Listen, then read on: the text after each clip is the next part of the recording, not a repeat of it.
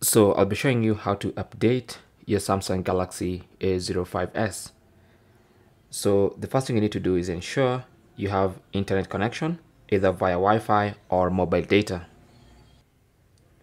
Once you ensure that, you can now go to settings and whenever there's there's a software update available, it might uh, show you at the top there.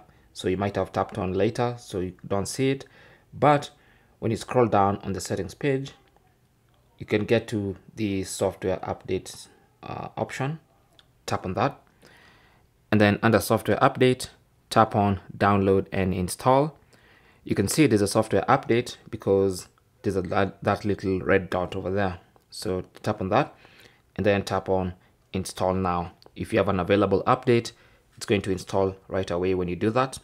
If your phone is up to date and doesn't require an update, then it will tell you that your phone is up to date. But in case there's an available update, that's how to install it. So in the process, your phone may restart maybe once or twice, depending on how big the update is or what the update is about. So just be patient and allow your phone to install the update.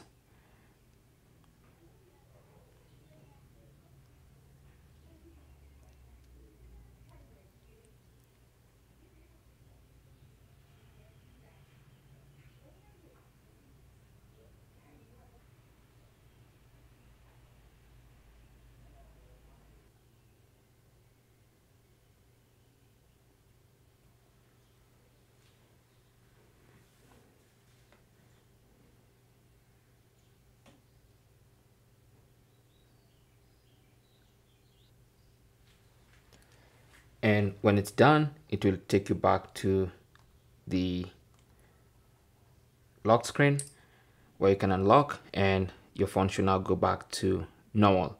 Of course with the new updates installed. And that is basically how to update your Samsung Galaxy A05s now alternatively if you want your phone to automatically download and install updates in the background you can tap on settings. Under settings scroll down to updates, software update, tap on that, and then enable auto download over Wi-Fi.